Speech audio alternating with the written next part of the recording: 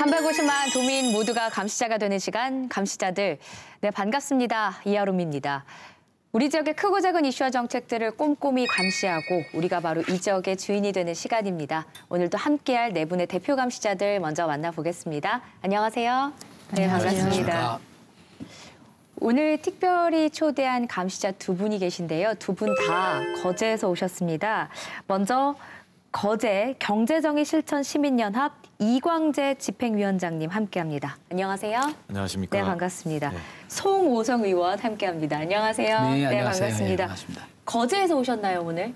네, 오늘 거제에서 그럼 왔습니다. 어떤 길로 오셨어요? 음, 평, 소에도 늘 거가대교를 이용하고 있습니다. 아, 그럼 요금 다 내고 오셨겠네요. 네, 오늘도 현금 1만 원을 내고 왔습니다. 아, 그러면 지역구가 거제시고 이 경남도 의회는 여기 지금 창원에 있으니까요. 오실 일 많으시잖아요. 네, 그렇습니다. 그 통행 요금 무시 못 하겠는데요. 한 어느 무시 정도 못합니다. 쓰세요? 어, 작년에 제, 제가 6월부터 7월 1일부터 의정 활동을 시작을 했는데 네. 6개월 정도에 약 한 95만 원 정도 지출된 것 같습니다. 예. 회기가 작년에 저희가 한 80일 정도 했거든요. 아.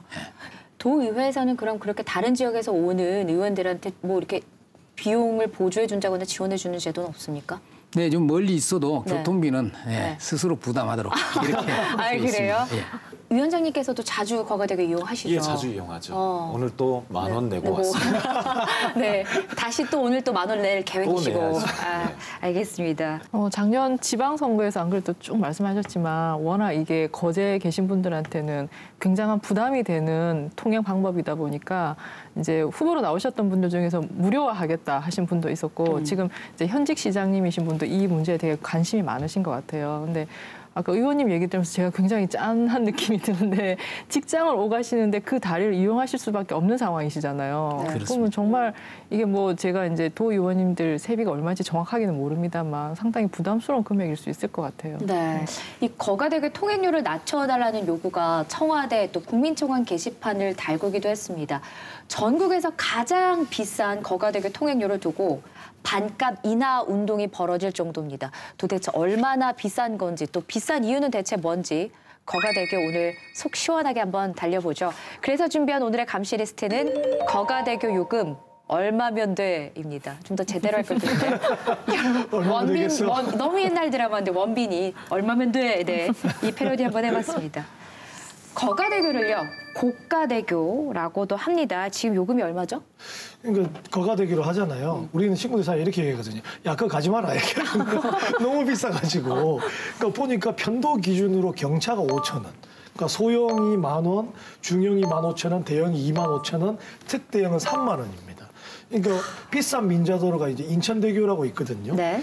인천대교 소형 편도가 5,500원이에요. 그러니까 거가대교가 약 2배 정도 되는 거죠. 그 킬로미터당 금액을 따져보니까 거가대교가 총 8.2km입니다. 그러면 1km당 약 1,220원.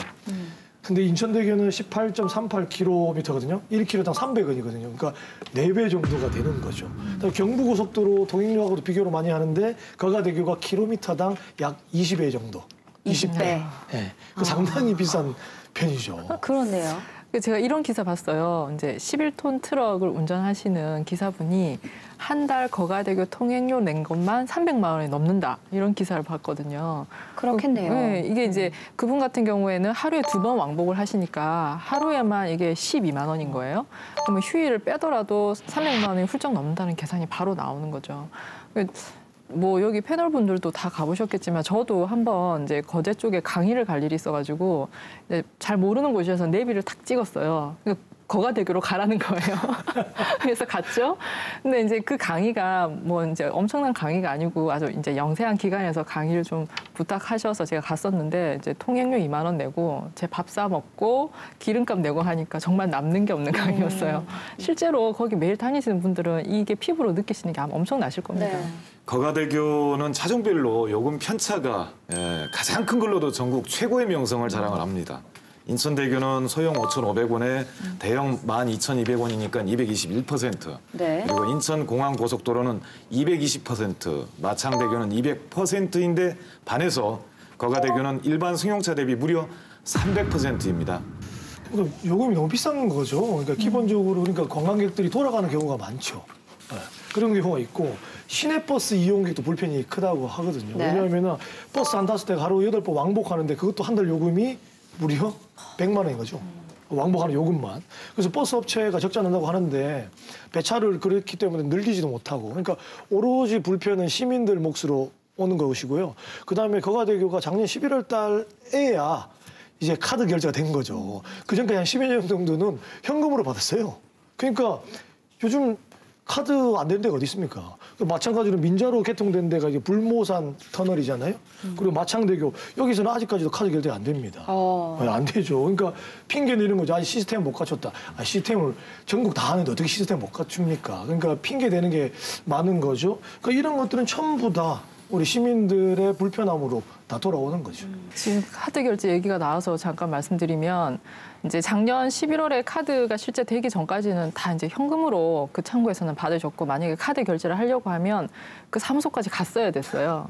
그 차를 그 갓길에 세우고 사무소에 가서 만 원을 카드 결제를 하고 다시 나와서 진입을 해야 되는 상황이었거든요. 그러니까 굉장히 위험천만한 상황이었죠. 그럼에도 불구하고 이게 개통된 지가 지금 벌써 몇 년 돼가지고 겨우 이제 카드 결제가 되게 했다라는 거거든요. 그러니까 그동안 사실은 이 행정이나 이런 데서 이 부분에 대해서 제대로 좀 지적을 하고 감시를 했었는지 하는 생각이 들 수밖에 없는 문제입니다. 이거는. 음, 네. 예, 제가 아는 어떤 그 한 분인 한 분은 지금 이제 에, 엄궁시장 부산에 네. 엄궁시장을 통해서 농수산물 도매상을 하시는 분입니다. 차량 트럭 1톤 차 하나, 그다음에 1, 3.5톤 차 한 대를 이용을 하고 계시는데 그분이 1년간 통행료를 이 천만 원을 냈다고 합니다. 그래서 제가 그 연- 연간 매출액을 물어봤더니 10억 정도를 올린다고 하는데 1% 정도가 통행료로 나가는 셈입니다. 그러니까 뭐 거기에 들어가는 유류, 유류비는 별도로 하고요. 그러니까 이게 실제로 이, 생, 이 주민들의 생활에 직접적인 영향을 미치고 있다고 하는 아주 그 구체적인 사례가 될 것 같습니다. 그래서 시민들이 지금 굉장히 지금 조- 조성기가 어렵기 때문에 관광객에 대한 기대가 굉장히 높습니다. 근데 이제 통행료가 높다 보면 버스도 관광버스도 돌아가고 이런 상황들이 생기, 생겨서 실제로 어, 조성 연기가 어려운 어려운데 이걸 좀 그 돌파구 역할을 해줘야 될 관광 산업이 결국 거가대교의 높은 통행료 때문에 가로막혀 있는 게 아닌가 이런 생각을 하게 되는 거죠. 그래서 이제 이 거가대교 통행료에 대한 질타가 굉장히 높게 지금 면서 형성되어 있습니다. 네. 그래서 지금 청와대 국민청원 글까지 올라가 있습니다. 동의한 지금까지 어, 국민청원에 동의한 숫자가 2만 명이 조금 넘는다고 합니다. 청와대의 답변을 듣지 못했지만 거가대교 통행료 이나 범시민 대책위원회에선 요금이 현실화될 때까지 1인 시위를 이어갈 계획이라고 합니다. 저희가 그 1인 시위가 벌어지고 있는 현장에 다녀왔습니다.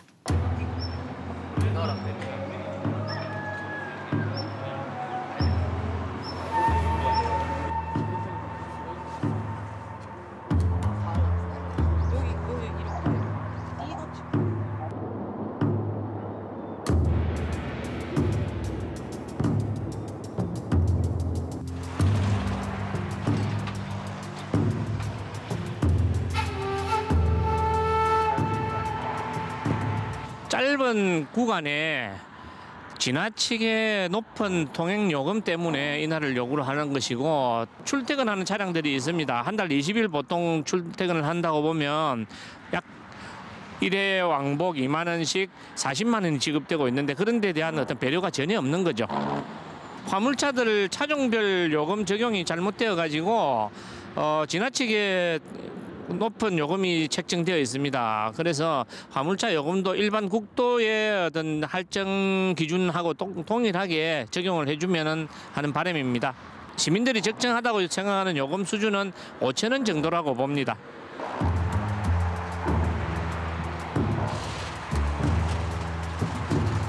부담 많이 되죠. 저희들도. 이게 15,000원이 가격이 싼 게 아니거든요. 한 3,000원 정도 더 내리면 되지 않겠나 싶은데. 예, 요 다리 건너는데 2만 5천 원씩 나거든요. 그러면 하루에 여덟 바퀴를 돌기 때문에 하루에 한 20만 원 정도 됩니다. 그래 한 달로 치면 한 600만 원 정도 이 차 하나에서 지금 벌써 지금 성격도 많은 차도 아니고요. 한 반 정도는 깎아야 단- 된다고 생각합니다.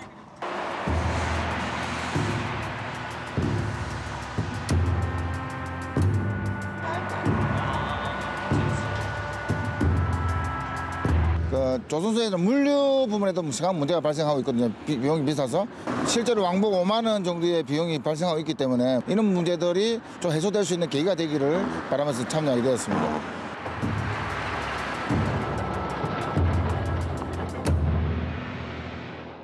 네, 그- 들어보니까 최근에는 거제 시장까지 1인 시위에 동참했다. 저도 네. 기사로 봤습니다. 보통 우리가 시청 앞에서 일반 시민분들이 시장님 좀 들어주세요 하고 시위하는 거는 자주 보지만 시장님이 이렇게 거리에 나셔, 나가셔가지고 피켓 뒤에 서가지고 저도 사진 봤거든요. 이게 시위하는 건 참 낯설기는 한데 그만큼 이게 절박하다는 얘기인 것 같습니다. 그리고 아, 거제에서는 제가 알기로는 이제 그 자발적으로 차량 캠페인도 지금 이제 하고 있는 것으로 알고 있거든요. 그래서 거기 여러 글귀 참 재밌는 글귀 많이 봤는데 그 중에 이 통행료 가지고 삼행시 한 글귀가 참 눈에 들어왔어요. 한번 운 띄워 주시겠어요? 통, 네. 통행료 내리면 행, 행복한 시민들 묘. 여기저기서 오 예. 이걸 차에 붙이고 네, 다 네. 붙이고 다니는 네, 거예요? 아 그렇구나. 기태 씨 한번 갈까요? 뭐 어떤 거요? 통행료요. 통. 아, 통? 아, 네. 바로 갑자기 네, 네. 통. 통. 통영으로 가지 마이소. 어, 행, 행복한 거제가 있습니다. 어, 료. 여기로 오세요. 야, 야, 자, 이, 요것도 하나 차량에 붙여주시죠. 괜찮은 아, 것 네. 같습니다. 돌아가지 말라고. 그런데 지금 그 화면을 보니까 제가 조금 그 궁금증이 생기는 부분은 뭐냐면 이런 말씀을 하세요. 거가대교 요금이 비싸서 지역 경제가 어렵다 이런 말도 나오는데 조선 경기 침체가 사실 큰 원인이지 거가대교가 통행료가 높아서 거제 경기가 안 좋다라는 거는 어, 좀 설득력이 약하지 않나라는 지적도 있거든요. 여기에 대해서는 어떻게 생각하세요? 네, 그 조선산업이 지금 20년 동안 사실 우리 이 우리 산업의 효자 역할을 해왔습니다. 근데 지금 2010년도부터 굉장히 어려워진 상황이었고요. 그 지금은 다시 좀 새로운 에, 활력을 좀 찾아가는 상황입니다. 금년 1월 달에 에, 대형 유조선 에, LNG선 여섯 척을 대우조선에서 수주를 했다는 이제 소식이 예, 전해지고 있습니다. 그래서 좀 에, 상당히 기대에 부- 부풀어 가고 있는 그런 상황인데 네. 그렇다 하더라도 조선 경기가 예전처럼 다시 에, 그런 상황을 맞기는 어려울 것으로 이렇게 전망들을 하고 있습니다. 에, 실제로 거제의 이제 그, 경제는 조선 경기와 관광 산업 이 양축으로 갈 수밖에 없고 관광 산업에 대한 부분의 기대치는 그만큼 더 높아지고 있는 셈이죠. 거가대교가 아, 물류의 어떤 대동맥으로서 역할도 하지만 관광객이나 이런 통행을 하는 분들에 대해서도 어, 그 60km 정도를 단축시키는 효과가 있기 때문에 굉장히 많은 그 통행 양들을 유발시키는 그런 역할을 하고 있어서 관광 산업에는 정말 없어서는 안 되는 그런 도로입니다. 그래서 이번에 통행료 인하만큼은 지금 10년 동안 끌어온 것인데 이번 대비에 반드시 좀 인하를 시켜야 되겠다라고 하는 것이 예, 저희 저 저희 그 도의회 의지도 그렇고 네. 우리 시민들도 그렇습니다. 에, 작년에 거제시에서 어, 통행료 인하에 대한 촉구 촉구 결의안이 채택이 됐고요. 그 다음에 27일 날 경남 도의회에서도 도의원 전원이 만장일치로 어, 거가대교 통행료 인하를 촉구하는 결의안을 채택을 했습니다. 거가대교 이게 개통 초기에는 오히려 이게 부산하고 접근 시간이 확 줄어들면서 뭐 백화점, 마트, 병원 이런 거 오히려 이제 거제 분들이 부산 쪽으로 다 빠지면서 오히려 빨대 효과 때문에 거제 상권이 타격을 받는다는 그런 이제 우려도 있었었거든요. 근데 지금 이제 통행료가 비싸서 우리가 조- 좀 계속 문제라고 하는 부분은 결국 아까 의원님도 잠깐 말씀하셨지만 뭐 예를 들어서 매출의 1%를 차지를 한다라든지 아까 이제 VCR에서 기사님은 한 달 통행료가 600만 원이라고 하셨잖아요. 노선버스 같은 경우에. 그러면 사실 경기가 안 좋아서 이제 매출이 줄어들거나 하면 거기에 연동해서 이제 비율이 일정 비용 같이 내려가야 되는데 이 통행료는 사실 고정비란 말이죠. 그러니까 매출이 줄어들어도 이 고정비가 계속 유지가 되니까 사업하시는 분들이나 아니면 뭐 직장을 다니시는 분들은 당연히 이게 점점 부담이 커질 수밖에 없는 거죠. 좀. 네. 화물차 노동자들이 5만 원을 내야 됩니다. 왕복 한 번만 네. 할 때.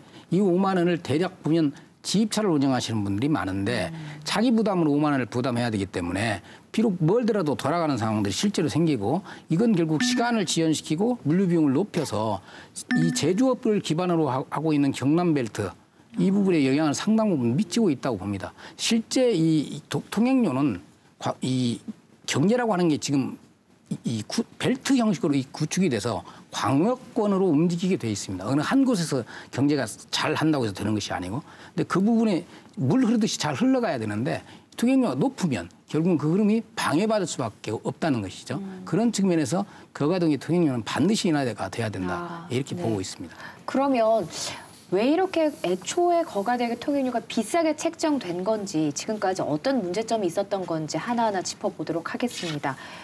왜 이렇게 애, 애초에 왜 만 원이 된 거예요? 근거가 뭐죠? 예, 그 현재 승용차 기준으로 어, 만 원이지 않습니까? 네. 그런데 협약 체결 당시에 어, 소형 승용차 기준 예. 8천 원 선이 좀 될 거라는 어떤 이야기가 먼저 있었습니다. 예, 그게 산출된 과정만 봐도 합리적이라고 볼 수가 없습니다. 부산시가 발행한 부산 거제간 연결도로 민간 투자 사업협상 추진백서에 따르면은 예, 부산 거제간 시외버스 요금이 예, 8,700원 정도이니 그때 당시에 네. 예, 그보다 낮은 8,000원으로 합의했다라고 이렇게 적혀 있는데요. 예, 누가 봐도 너무나 황당한 계산법과 이해 못할 예, 협상 방식이죠. 지금 이 공사가 한 6년간 2조 넘게 공사비가 들었다는 거 아닙니까? 그리고 당초에 이제 이 정도 공사비를 들여서 엄청난 이 공사를 시작할 때는 교통량이 대단히 많을 것이다라고 예상하고 이제 잡은 게 네, 최종 문제긴 한데 사실은 통행료를 산정하는 데 있어서는 원가 개념으로 간다면 공사비, 그다음에 이후에 들어올 수익, 통행량, 그다음에 여기 또 그런 게 있어요. 휴게소가 있거든요. 네, 그러니까. 휴게소에서 나오는 수익 같은 걸 이제 예상을 해가지고 그걸 근거해서 이러 이렇게 계산을 했더니 통행량이 통행량으로 나누기를 해보면 어느 정도가 적정하다. 예를 들어서 그렇게 해서 뭐 5천 원이 됐든 만 원이 됐든 이렇게 나오는 게 저는 상식적이라고 생각을 하는데 그때 시외버스 요금이랑 비교해가지고 얼마 했다라는 건 너무 단순하게 계산했다는 느낌이 들고요. 그리고 감사원에서도 이걸 감사를 한번 했었어요. 그래서 했더니 뭐 여러 가지 문제가 지적이 됐는데 그 대표적인 것 중에 공사비에 대해서 되게 말이 많았거든요. 공사비 너무 많이 부풀린 거 아니냐. 근데 그 중에서 감사원에서 지적한 거는 애초에 이제 설계에 들어있었던 것 중에서 공사를 빼먹은 부분이 있잖아요. 그럼 당연히 공사비를 적게 들였을 거 아닙니까? 그거하고 휴게소에서 나올 수익을 이제 과소 추정을 했다라는 거죠. 훨씬 적게 잡아가지고 최소한 이 정도는 이제 요금에 반영을 해서 만 원 이하로 좀 낮추라고 공고를 했었는데 사실 이게 안 받아들여진 거죠. 아니 그런데 궁금한 게 거가대교만 그래요? 아니면 다른 도로들도 이렇게 주먹구구식으로 요금 계산을 하나요? 어때요? 대체로 이제 그 민자도로 방식이라고 하는 것이 네. 에, 사업을 제한하는 민자 민자 민간 업체들 주로는 건설사들입니다. 건설사들이 에, 실제 건설 비용에 에, 욕심이 있어서 사업 제한을 하고 운영 과정은 사실은 금융 회사들이 관심이 있죠. 어, 지금 거가도교 같은 경우에도 건설회사는 지금 이- 이번에 자본 재보, 재구자를 통해서 이 회사를 팔고 자기들은 이미 다 손을 뗐고요. 네. 이 거가대교에 투자한 사람들은 지금 금융기관 19개 펀드로 구성이 되어 있는데 이분들이 에, 결국 거, 거가대교의 투자자로 지금 남아있는 셈입니다. 지금 거가대교가 비싸다고 하는 부분은 이, 부, 이 거- 투자비의 이자를 얼마만큼 보장해주고 있는가 하는 문제. 그래서 어, 논란이 되고 있는 상황이기도 하고요. 에, 그다음에 이제 이 실제로 운영하는 과정에서 운영비를 어떻게 책정을 했으며 그걸 얼- 어떻게 인정하는가 하는 이런 문제로 크게 압축이 되는 것 같습니다. 에, 지금 그 거가대교 공사비를 당초에 에, 책정을 할 때 계략 공사비로 책정을 했습니다. 원래 공사비라고 하는 것은 설계를 완료를 해 나, 해야 정확한 공사비가 책정이 될 수 있는데 계략 공사비로 해서 책정을 하고 거기에 따라서 공사비라는 게 어떤 거예요? 에, 공사의 개념을 개념도를 가지고 공사비를 책정을 해서 사업을 확정을 지은 겁니다. 그리고 실제 에, 공사는 에, 결국 그 패스트트랙 방식으로 해서 그 설계와 시공을 동시에 진행한. 그러다 보니까 실제로 어, 설계대로 당초 설계대로 시공하지 않아서 공사 금액을 중도에 많이 이, 이 착복을 했다라고 하는 의문들이 거기서 생기게 된 것이죠. 예, 세부적으로 들여다보면 국가 지방 아, 국가와 그런 지방의 비용 부담이 좀 많이 커지는 상황에서 첫 협약 당시에 예, 공사비가 1조 4천억 정도 들 거라고 봤지만 점점 늘어서 예, 총 2조 3천억 정도가 소요가 됐습니다. 이 중에서 어, 다리 건설비로만 국비와 지방비가 4,473억 원, 그리고 부산 쪽과 경남 쪽 접속도로 공사비가 7,960억 원. 결론적으로 어, 국비와 지방비가 총 1조 3천억 이상 어, 전체 비용의 57.4%가 예, 들어갔습니다. 그러면 이게 패스트트랙 방식이어서 설계와 시공이 동시에 되다 보니 처음에 1조 4천억 원이었지만 예상이 해보니까 돈이 더 필요하네, 더 필요하네서 결국에는 총 2조 3천억 원이 들었다. 그렇죠. 이렇게 된 거네요, 네네. 과정이. 네. 아. 좀 들어갔잖아요. 네. 근데 이제 수익을 보니까 저는 깜짝 놀랐어요. 이게 40년간 수익을 가져가잖아요. 그러니까 GK 해상도로가 40년간 가져가는데 예상치가 36조 3,600억 원입니다. 수익이요. 그러니까 총 민간 투자비 불변가가 9,900 9,996억 들었거든요. 네. 그러면 그걸로 따지면은 약 3,637%의 이익입니다. 3,600배 프로의 이득이고요. 아, 이런 경- 펀드가 있단 아, 말이에요. 그렇죠. 경상가 그래요. 그러니까 1조 3,976억 더 우리가 낮춰가지고요. 그저 더 들었다고 치더라도 2,600%의 이- 이득. 근데 운영비도 들어가고 법인세 들어가고 관리비도 들어가고 다 치더라도 8조 6,173억 정도 든다는 거죠. 그럼 이거 전체적으로 8조 정 들었다고 치더라도 40년간 27조를 가져가는 거죠. 그 어마어마한 수익을 갖고 가는 거죠. 9천억 투자해가지고 36억 아니면 적게 잡아도 27조를 가져가니까 이만한 사업이 어디 있습니까? 그럼 좀 이해가 안 되는 부분은 뭐냐면 그건 이제 민간 업자의 입장에서는 상당히 좋은 점이고요. 그렇죠. 그런데 지금 국비와 지방비가 이만큼 들어갔잖아요. 반 정도, 반 이상 들어갔나요? 뭐 들어갔으면 공사를 할 때 애초에 계약할 때 그러면 우리가 운영 수익급도 반 정도는 가져갈게 이렇게 생각 했을 법도 하지 않았나라는 생각이 드는데요. 여기에 대해서는 왜 운영권을 다 넘긴 거죠? 민자 사업에 100% 민자가 들어가지 않습니다. 대체로 다 지방 재정이 들어가게 됩니다. 국가 재정이나 지방 재정이 일정 정도 들어가고 나머지 부분을 가지고 민자가 운영을 하게 되고 운영권을 민자한테 맡기게 됩니다. 근데 이게 자꾸 비싸게 되게 될 수밖에 없는 것은 구조적으로 이 자금 조달 비용 네. 자금 조달 비용 자체가 국가나 지방자치 자치 쪽에 채권을 발행하게 되는 비용보다 민자를 통해서 들여오는 비용의 이자가 비쌉니다. 그 차액만큼 비싼 거 하나가 있고요. 그 다음에 에, 업체 이 운영회사가 반드시 있게 됩니다. 운영회사의 수익이라고 하는 것이 또 추가로 거기에 덧붙여지게 되고요. 그 수익에 따른 에, 우리 법인세, 법인세가 또 들어가게 됩니다. 그리고 이 모든 것을 합해서 10%또 부가세가 붙게 됩니다. 그러니까 이 네 가지가 결국은 전적으로 통행료에 그대로 전가되면서 국가나 지방자치대가 직접 어, 운영하는 것보다도 훨씬 더 비싼 통행료를 지불할 수밖에 없는 이런 구조를 가지고 있습니다. 그래서 결국은 이런 민, 이 SOC 같은 경우에는 민자를 통해서 조달하는 것이 아니라 국가나 지방자치단체가 책임을 지고 이 자치단체에서 조달을 통해서 금리를 낮추고 나머지 부가적인 비용들이 발생되지 않는 구조로 추진을 하는 것이 맞다 이렇게 보고 있습니다. 네. 앞서 잠깐 얘기하셨지만 공사비도 문제지만 이제 계약 기간도 문제입니다. 2050년까지 네. 계약이 돼 있어요. 최장 기간 아닌가요? 맞습니다. 이게 네. 40년이잖아요. 그래서 요금도 지금 전국 최고 수준이고 보장한 그 이제 운영 기간, 계약 기간도 전국 최저 수, 최고 수준입니다. 네. 게다가 이게 뭐 시청자분들도 많이 들으셨을 거예요. 최소 운영 수익 보장 방식으로 계- 계약이 돼 있어 가지고 당초 이제 보장돼 있는 수익의 77.5%그 밑. 돌, 그 밑을 이제 돌게 되면 이게 지방 재정으로 다 그걸 보전을 해주게 돼 있는데 이거는 뭐 바꿔 얘기하면 처음에 예측했던 교통량의 77%도 지금 차가 다니지 않는다는 얘기잖아요. 그죠? 그걸 보장해 준다는 것은. 그래서 어, 이 협약이 2013년에 바뀌긴 했는데요. 그 이전까지 보면 2011년에만 232억, 2012년에 278억, 2013년이 3분기까지만 한 게 226억 정도가 이제 지방 재정이 요 수익 보장으로 들어갔습니다. 그러니까 어마어마한 이 그 금액이죠. 그리고 결국은 실제 뚜껑 열어보니 통행량이 굉장히 저조하더라. 결국 여기서 문제가 생긴 건데 저는 뭐 저희 저는 솔직히 오늘 이 자리에서 이거 좀 성토해야 된다고 생각하는데 이 통행량 예측 도대체 누가 한 거며 그 근거 없는 예측을 가지고 이런 큰 사업을 시작한 거에 대한 책임을 누가 질 것인가 솔직히 그 부분에 대해서 상당히 좀 분노를 느낍니다 저는. 통행량 예측이 맞았던 걸 저는 본 적이 없는 것 같습니다. 모든 사업에서. 네, 뭐 김해 경전철부터 시작해서 왜 이렇게 이게 부풀려졌냐, 그죠? 과다하게 측정됐냐 이런 의문도 드네요. 오죽하면 세금 먹는 하마다 이런 이야기를 하겠습니까? 이 사실은 이제 업체가 투자비 1조 원 정도, 어, 1조도 채 들지 않았죠. 이걸 통해서 40년 동안 에, 수익을 보장받는다. 이런 구조입니다. 이 거가대교의 사업 모델은 기본적으로는 통, 예측 통행량하고 같기만 하다면 재정 부담은 전혀 없는 제로 베이스로 모델링이 돼 있습니다.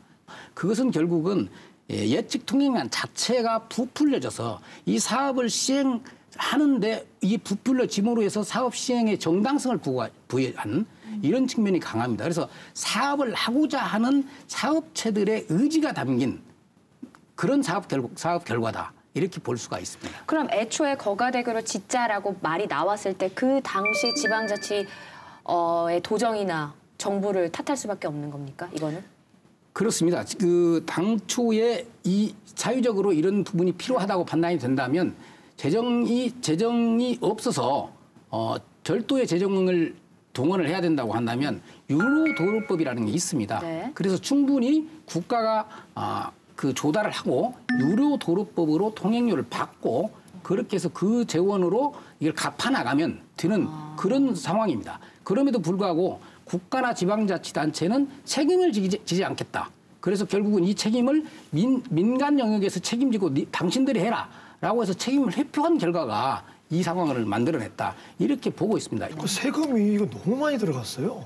사실 세금이 너무 많이 들어가기 때문에 이거는 지방 국가나 지방 정부가 다 책임을 져야 되는 거죠. 근데 이게 왜 민간으로 민자 책임 전가할 수? 없는 거죠. 근데 우선 이게 그러면 첫 번째 질문이 이게 왜 민자 사업인가? 그 다음에 두 번째는 민자의 자본이 들어갔다고 하더라도 잘못 깨어진 첫 단추 때문에 지금 몇 년 동안 계속 누더기로 어 그러면 세금 얼마 보존해 줄게. 그럼 기- 협약 방식을 바꿔볼게. 그래도 너네 너무 많이 받아가는 것 같아서 오늘 우리가 모인 거잖아요. 그렇습니다. 참 답답한 행정이네요. 아니, 누가 이거는. 했냐는 거죠. 누가 했냐. 그다음에 경남도에서 누가 했냐. 그다음 그 윗선으로 하면 국가에서 누가 지정을 해줬냐. 누가 허락을 해줬냐까지 더 올라가야 되는 거예요. 이거. 그러니까 원래 이게 이제 민간이 사실은 아까 말씀하셨지만 50% 넘게 사실 세금이 들어갔잖아요. 근데 민간에서 이걸 다 운영을 하고 수익도 가져가는 게 어, 일정 기간은 민간에서 수익을 가져가고 그 이후에는 이제 이게 공유 내지는 국유로 돌아온다는 걸 전제로 그렇게 하는 건데 그게 2050년인 거예요. 그렇죠. 근데 이제 그 이거는 그렇게 따지고 볼 때 너무 기간을 또 길게 줬다는 문제가 바로 이제 지적으로 나올 수가 있는 거죠. 네. 또한 가지 사실은 이제 2013년에 네. SCS 그러니까 표준 비, 비용 보전 방식이라고 하는데요. 이게 그때 그렇게 재구조화가 예, 이루어졌습니다. 나름대로 기대를 많이 했어요. 했는데 어, 이 방식은 이제 실제 수입이 어, 사업비에 못 미칠 때 이제 지원을 하는 방식입니다. 예, 이때부터 경남도와 부산시는 어, 이를 통해서 행정의 재정 부담이 향후 37년간 약 5조 6,800억 원이 줄었다고 예 당시 어, 도지사인 홍준표의 치적으로 내세우고 자랑만 했지 예, 실제 시민들의 통행료는 전혀 한 푼도 예, 줄어들지 않았습니다. 예, 높은 통행료로 인해서 시민들의 고통은 전혀 무관심했고요. 그리고 도민들과 이용객들을 조금이라도 생각했다면 예, 통행료 어, 인하 문제도 그때 당시 자본 개주, 어, 재구조화 할 때 조금 좀 어, 손을 봐서 같이 경감을 했으면 훨씬 더 지금 이런 사태가 발생을 안 했을 거라고 생각을 합니다. 그러니까 저도 기억이 나는 게 당시 그 거가대교 재구조화 협상에 성공했다면서 집중 보도가 됐습니다. 홍 전 지사도 이 거가대교 재구조를 가장 큰 치적 중의 하나로 삼곤 했었는데요. 근데 실상은 앞서 지적하신 것처럼 이용객의 부담은 전혀 줄지 않았다는 겁니다. 이유를 한번 들어보겠습니다. 원래 재구조화라는 게 보면 그 통행료를 줄이는 것, 그리고 통행 기간을 단축시키는 것, 세 번째는 그 정부에서 행정 부담을 최소화하는 것, 그 세 가지로 가지고 있는데 인천대교 같은 경우는 2017년 9월에 아 8월에 재구조화를 통해서 원래 6,200원 있던 거를 5,500원으로 내렸어요. 700원을. 그게 이제 결국은 재구조화의 가장 대표적인 예인데 지금의 재구조화는 상당히 잘못돼 가지고 어떻게 했냐면 그 세 가지 중에 오직 행정 부담을 축소시키는 데만 집중을 했습니다. 그러다 보니까 오히려 통행료를 가중시켰는데 그 가중시킨 걸 보면 10년마다 천 원씩 올리는 걸로 돼 있어서 당장 내년부터 천 원이 올라가서 만 원이 아니라 이제 만 천 원을 내야 되는 그런 상황입니다. 행정 부담을 줄이기 위해서 이런 표현은 뭐하지만 오히려 이용자들의 부담을 가중시킨 거죠. 행정 부담도 최소화하긴 했는데 그것도 이제 어느 정도인지는 정확히 모르죠. 이윤을 낼 수 없고 오히려 보조해주고 있습니다. 부산 같은 경우가 대표적으로 전국에서 가장 유로도로가 많거든요. 그런데 이제 백양산 터널이고 이런 데 보면 한 1년에 20억 정도 보조해 줍니다. 2017년에 행정에서 부담한 금액이 566억을 부, 부담했어요. 그 정도 말도 안 되게 부담하고 있어요. 이 그가대교가 만든 목적이 있습니다. 목적은 크게 두 가지로 보는데 첫째는 이제 거제 조선 산업 그래도 부산의 기계 산업이 산업 시너지 효과를 높이겠다는 거거든요. 그리고 또 두 번째 목적은 부산과 거제의 양 지역의 관광 산업을 활성화시키겠다는 게 있습니다. 그런데 문제는 뭐냐면 관광 버스가 2만 5천 원, 트레일러가 3만 원을 받고 있습니다. 통행 요금을? 그럼 누가 오겠습니까? 그래서 지금 만 원인데 만 원에 한 대 다니는 것보다는 5천 원할 때 세 대 다니는 게 더 낫다는 거죠. 감사원에서도 지난번에 2011년에 감사를 해가지고 이게 문제 있다 해가지고 지적을 했어요. 교통 탄력도 조사를 실시해라 했는데 민자 사업자가 거부를 했습니다. 도를 많이 소통하도록 하는 게 제일 좋다 아닙니까? 양 지역의 물류 흐름을 만드는 게 가장 중요한 건데 어쨌든 이거는 그가대교 높은 동행료로 인해가 그 흐름이 다좀 막히고 있다는 거죠. 지금 지, 그 KB, GK 사모펀드 운영사는 지난해 수익을 190억 냈어요. 190억 냈는데 또 하나 수익은 뭐냐면 그 자기들 내에 내부 거래를 통해서 고금리로 통해서 어느 정도 되냐면 245억의 이자 수익을 얻었습니다. 결국은 400매덕 정도를 자기 1년의 수익을 얻은 거죠. 그래 놓고는 적자를 내서 그 세금도 한 개도 안 냈어요. 황당한 이야기죠. 모르- 모르시는 분들도 많으셨을 것 같은데 그러니까 내년에는 만 천 원을 내야 돼요. 제가 거가대교를 가면 또 10년 뒤에는 만 이천 원이 되는 거고요. 계속 오르네요. 무슨 이런 협상이 다 있나 다시 한번 비판을 하지 않을 수가 없습니다. 네. 어, 2013년에 이게 이제 최소 운영 수익 보장에서 비용 보전 방식으로 바뀌었잖아요. 네. 그래서 이제 지금 계속 VCR에도 나오지만 뭐 도 재정이나 부산시의 재정은 그렇게 바뀌면서 어느 정도 어 좀 많이 이득을 보신 부분이 있는데 근데 이, 이것도 지금 약간 다른 목소리가 나오고 있어요. 왜냐하면 이게 이제 비용 보전이라는 게 최소 사업 운영비를 보전을 해주는 거거든요. 근데 이게 뭐 최소 운영 수익을 보장하든 사- 최소 사업 운영비를 보장을 하든 통행량이 적으면 통행량이 혹시나 또 줄어들기라도 아. 하면 어차피 재정이 나가는 건 마찬가지예요. 그렇네요. 근데 지금 음. 거제시 경기 다 아시잖아요. 그럼 또 요, 이쪽에 이제 동남 지역, 동남 벨트가 좀 전체적으로 저조하면서 통행량이 계속 줄어들고 있다라는 그런 통계가 나오고 있거든요. 그러면 협약을 바꿨지만 이 지방 재정에서 나가는 돈이 늘어나는 거는 지금 계속 비슷한 현상이 되고 있어요. 그래서 이건 결국 근본적인 해결책이 아니다. 저는 그렇게 생각합니다. 네. 근데 그 아까 화면에서 언급됐던 그 GK 해상도로 운영사의 이자 수익에 관해서 말씀이 나왔는데요. 아, 이 부분이 가장 어려운 것 같아요. 가- 쉽게 좀 들어보도록 하겠습니다. 그 간단히 얘기하면은 우리 대출을 하지 않습니까? 이자율이 낮은 게 좋습니까? 높은 게 좋습니까? 낮은 게 당연히 낮은 게 네. 좋죠. 하지만 이자율을 왜 높였겠습니까? 특수관계거든요. 그러니까 GK 해상도로가 돈을 빌린 데가 KB GK 아까 해상도로 이 특별자산투자신탁 2호 대출을 받았지 않습니까? 재구조와 당시에 운영권을 100% 인수를 했습니다. 그러니까 요거는 GK 해상도로 겁니다. 네. 그러니까 자회사인 거죠. 음. 100%. 그러니까 자기 회사에서 자기 회사로 돈을 빌려주니까 이자를 많이 줘야 되겠다. 해가지고 시중금 최고로 6% 돼갖고 준 거거든요. 그러니까 이 그리고 또 지분 100%라는 거는 바로 인수합병이 가능합니다. 예, 자회사지만 나중에 그러니까 자기네 회사에서 돈을 빌려주고 이자를 자기네 회사한테 줬다. 이렇게 세- 생각하시면 되는 거죠. 그게 그러니까 5년 동안 이렇게 생각할 수천 있을까요? 그러니까 거죠. 아들이랑 아빠가 경제 공동체인데 그렇죠. 경제 공동체 상당히 오랜만에 쓰네요. 네. 경제 공동체인데 그 아들이 아빠한테 돈을 꿨어요. 근데 아들이 다른 데서 꿨으면 4%에 꿨을 텐데 그렇죠. 아빠한테 일부러 6%에 꾼 거예요. 그렇죠. 그러면서 아빠한테 이자를 많이 줘. 근데 이 둘은 원래 돈 주머니가 똑같아요. 똑같은 거죠.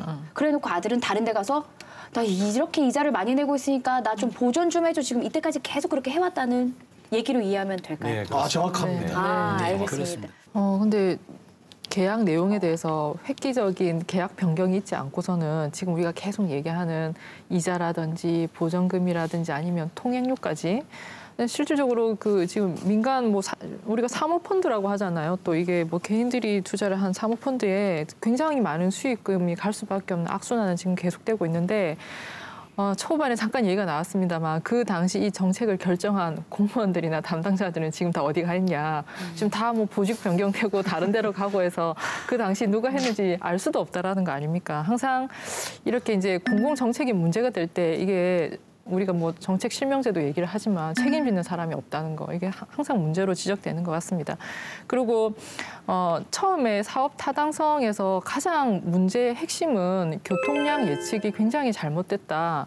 교통량을 뻥튀기 해서 잡으면서 사업은 굉장히 어, 당연히 추진해야 되는 사업처럼 장밋빛을 제시를 하고 실제 뚜껑을 열어봤을 때는 오히려 민간 사업자한테 많은 돈을 줘야 되는 근거를 제공하는 것밖에 안 됐거든요. 그래서 저는 개인적으로 어, 마, 마창대교도 비슷한 경우 있었잖아요. 그래서 이렇게 어, 공공 부분에서 용역을 받아서 이런 그 교통량 데이터라든지 이런 거를 그 분석해서 내는 이 전문가, 전문가들이 문제입니다. 그래서 이 전문가들이 어떤 뭐 민사적으로든지 형사적으로든지 이런 문제가 터졌을 때 좀 책임을 질 수 있는 그런 입법까지 했으면 하는 그런 바람을 한번 얘기를 해봅니다. 그리고 아까 우리가 이제 사모펀드하고 관계 얘기했는데 저는 갑자기 그게 데자뷰가 우리 지난 지난번에 한번 그 GM 대우 방송했었잖아요. 네. GM 대우 방송에서 본사에서 한국 그 GM으로 돈 꿔주고 되게 비싼 이자 받아서 한국 돈 다 빼가는 거 얘기했는데 지금 구조가 거의 흡사하거든요. 이게 공공 사업에 투자하는 펀드가 과연 이렇게 이제 정말 수- 수익만 오로지 쫓아서 가는 사모 펀드가 이런 공공 사업에 투자하는 게 맞는가라고도 좀 근본적인 의문을 이제 제, 제시하고 싶습니다. 네. 시민사회나 비대위가 제안하는 어, 의견들 과연 실효성이 있는지 한번 짚어보겠습니다. 먼저 이런 얘기가 나와요. 경남개발공사에서 창원터널 인수했던 것처럼 부산시와 경상남도가 저금리로 이 거가대교를 인수해야 된다. 이 방안에 대해서는 어떻게 보세요? 저는 개인적으로 가장 어, 이상적인 방법이다. 아, 예. 왜냐하면 이게 지금 보전을 해주는 방식은 재정 투입 규모가 사실 불확정적이잖아요. 얼마를 어- 언제 투입해야 될지 모르는 상황보다는 차라리 이거를 이제 인수를 하는 식으로 해서 확정적인 재정 투입 규모를 그냥 확정을 하고 뭐 그거를 재정을 조달하는 방식까지는 제가 잘 모르겠습니다만 그렇게 해서 인수를 하면 이 이제 통행료에 다, 통행료를 정하는 거라든지 이게 공공 부문에서 다 할 수 있는 거 아닙니까, 그죠? 공공 부분에서 가장 적정한 통행료를 정해 주시고 어 그다음에 이 그 문제 문제는 이제 인수 금액이 문제가 될 텐데 협상 전략 나름 이제 제가 제시하는 협상 전략은 어 처음에 그 감사원에서 공사비도 지적도 많이 당, 당했고 지금 우리가 계속 얘기한 이자라든지 이런 것도 좀 불합리한 점이 있는데 애초에 공사비가 상당히 부풀려졌다는 점에 약간 주목할 필요가 있는 것 같습니다. 실제 그 제가 과거 자료를 한번 보니까 뭐 시공사 시공사가 도급을 줬던 회사들이 시공사랑 같은 회사들이에요. 그- 그리고 그걸 다시 재하도급 주고 쭉쭉쭉 내려오는데 처음에 공사 금액이 예를 들어서 한 1조 6천억 정도였는데 마지막에 재하도급 가서는 한 7,600억밖에 안 되거든요. 네. 거의 절반으로 줄어들거든요. 근데 이렇게 공사비가 어쨌든 시공사들한테 많은 수익으로 돌아갔고 지금까지 보존해 준 돈만 해도 이미 적자는 아닌 상황이니까 그걸 가지고 인수 금액을 제대로 좀 협상만 한다면 이걸 현실적으로 안아가지고 이제 공공부문에서 안아서 이걸 운영하는 것이 시민들로서는 가장 이상적인 방법이다라고 생각합니다. 맞습니다. 털어야죠. 진짜 감사원 지적대로 털어야 됩니다. 아까 말씀하신 것처럼 하도급 관련돼 가지고 비용이 너무 부풀려진 것 같아요. 보니까 3,300억 정도가 부풀려져 있더라고요. 네. 그다음에 아까 말씀하신 교통 탄력도 예측량 이거 다 감사원에서 다 권고한 사항인데 수용하지 않았습니다. 그때 책임자가 누구였는지 분명히 좀 가려야 될 것 같아요. 그래서 전체적으로 가격의 시스템 결정을 맨 처음에 주무국으로 한 게 있고 확실히 그죠? 그다음에 협상 통해서 가격 결정하는 게 말이 됩니까? 어떤 측정돼 가지고 보이는 데이터 가지고 실제적으로 해야 되는 건데 이거를 다 관가했으니까 다시금 재구조화 또 한 번 더 하셔야 된다라고 좀 생각을 하고 있습니다. 네. 근데 저는 그런 생각이 드네요. 물론 현재 도의회 에서 일어난 일은 아니게, 아니지만 이 거가대교가 애초에 거가대교 협약이 어떻게 됐는지 재구조화 때는 어떤 협약이 됐는지 제대로 따져서 견제를 해야 되는 게 아닐까라는 그렇게 해보시는 건 어떨까요? 지금 10년 정도 세월이 흘렀는데 과연 이제 그때 상황을 다시 뒤집어서 제대로 어, 분석하고 제대로 문제점을 찾아낼 수 있을까라고 하는 의구심이 듭니다. 구체적으로 어, 당시 상황들을 재현해보고 그리고 관련 자료들을 좀 찾고 하는 부분들이 쉽지는 않겠지만 이 부분도 정말 도의회 차원에서 관심 갖고 한번 들여다볼 필요가 있겠다 이런 생각을 하고 있습니다. 네. 이렇게 보면은 참 공무원 하고 싶습니다.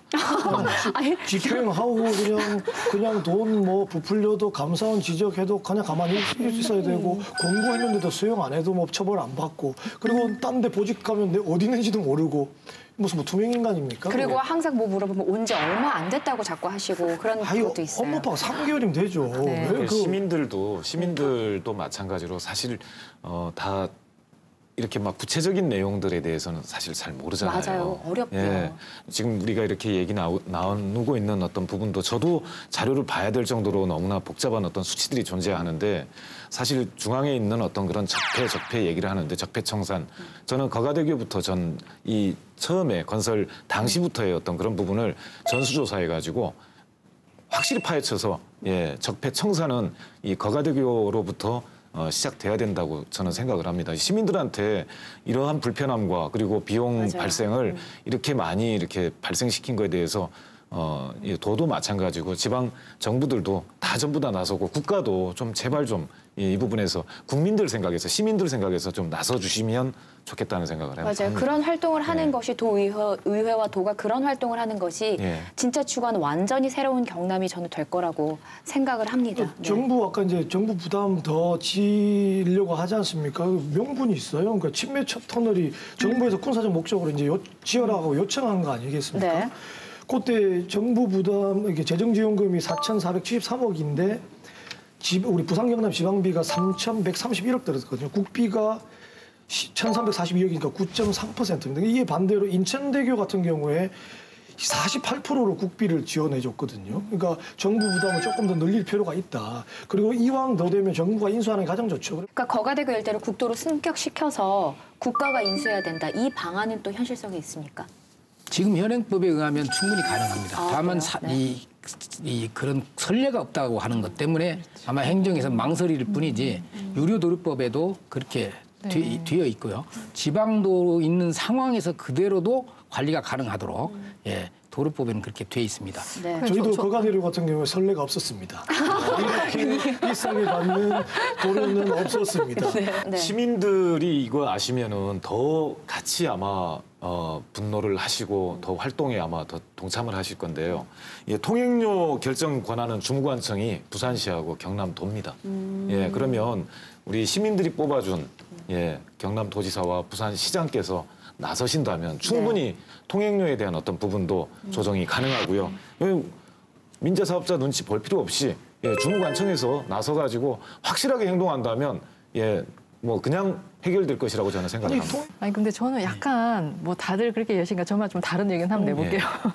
저는 이게 통행료 인하, 그러니까 통행료 인하 인하하고 지금 뭐 이제 국도로 해서 국비로 결국 이걸 하자는 거 하고는 이게 따로 떨어지지 말고 예를, 예를 들어서 통행료가 인하되면서 국비로 대체를 한다라면 예를 들어서 이 거가대교를 거의 이용하지 않는 다른 지역의 국민들이 동의를 하시겠지만 통행료에 대해서 전격적인 합의가 되지 않고 단순히 지방 재정 들어간 거를 이제 국비로 전환만 하자라고 하면 사실 이거는 뭐 국민들 입장에서는 내가 뭐 세금 내, 내, 내 면 그 돈이 국비든 뭐 지방비든 별 차이는 없거든요. 네. 그러니까 이 부분에 있어서는 저는 이게 국도로 전환해서 지출에 이제 그 주체를 바꾼다는 거는 해결책은 아니라고 보고 그다음에 지금 얘기하신 그 통행료는 물론 이제 결정권자는 행정이 맞는데 우리가 계속 얘기한 이 지점, 그러니까 통행료를 낮추게 되면 결국 지방 재정으로 보전해줘야 되는 금액이 늘어날 수밖에 없잖아요. 통행량이 늘어나지 않는 이상은 그렇게 될 수밖에 없기 때문에 당장은 시민들이 이제 비용 부담이 줄어든 효과는 볼 수 있겠습니다만 결국 세금으로 뒤로 돈이 더 많이 들어가게 되는 구조라서 결국 시민들이 전체적으로 봤을 때는 큰 이익은 없을 수 있다고 저는 생각을 하거든요. 예, 거가대교가 지금 얼마나 비쌉니까? 예, 지금 우리 아까 말씀드렸습니다만 인천 대교에 비해서 다섯 배가 비싸다. 인천 대교가 민자입니다. 그것도 국내에서 가장 비싸다고 하는 도로입니다. 거기에 다섯 배가 더 비싼 이 도로는 지방도라는 이유로 주민들의 부담을 그대로 놓아두는 것이 맞느냐라고 하는 형평성 문제가 분명히 존재합니다. 그래서 도로를 수익자 부담 원칙으로 그냥 묶어놓는 것은 맞지 않다라고 하는 대전제가 동의가 된다면 이 문제는 재정 재정 자체의 구조를 좀 바꿔내면서 비용도 줄여야 될 것이고요. 그 다음에는 국가가 전적으로 다 부담하는 것이 아니라 유료 도로법에 의해서 유료 도로로 그대로 이- 하면 됩니다. 다만 비용을 좀 낮춰주어서 부담도 줄이고 이 재정 부담도 어, 조금만 더 늘리면 되는 이런 형태로 다양한 방식들을 통해서 해답을 찾아야 된다. 이렇게 보고 있습니다. 그런데 그 해답을 찾는 주체가 저는 반드시 국가가 돼야 된다. 왜? 국가가 수단이 많기 때문입니다. 좀 덧붙이자면요. 어, 오래전부터 이제 전문가들도 그렇고 감사원도 지적을 했던 내용입니다. 어, 그 지적 사항이 통행료와 통행량과의 어떤 상관관계를 좀 더 따져봐야 된다라고 하는 부분인데요.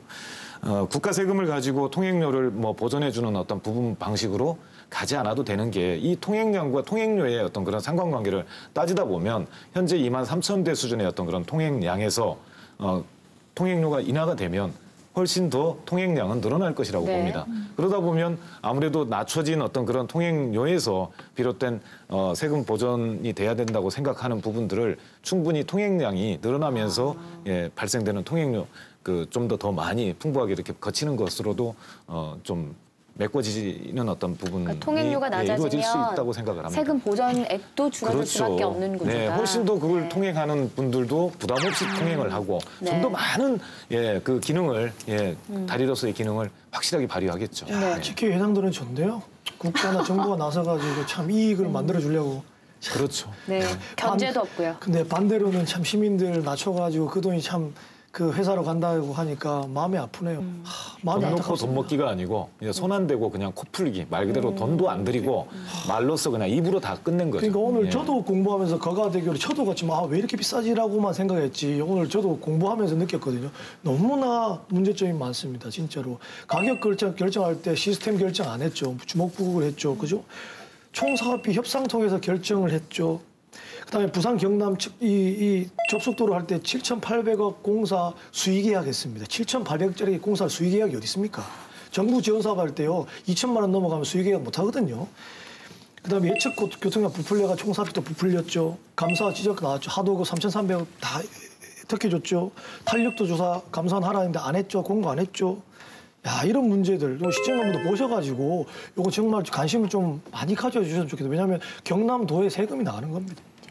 사실 거가 대교뿐만 아니라 민자 사업자들과 이해할 수 없는 협사- 협상 방식으로 지금까지 막대한 세금이 그 사업에 다시 투입이 되고 또 손해는 시민들만 보고 있는 이런 경우를 보는 게 참 잦습니다. 왜 이- 이런 일이 반복되는지 근본적인 원인도 꼭 짚어야겠다. 오늘 논의를 해보니까 그런 생각이 듭니다.